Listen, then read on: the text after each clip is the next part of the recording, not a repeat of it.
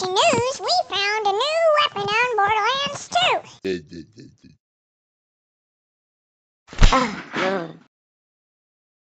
But you have to be a certain rank to pull it out of the ground. Also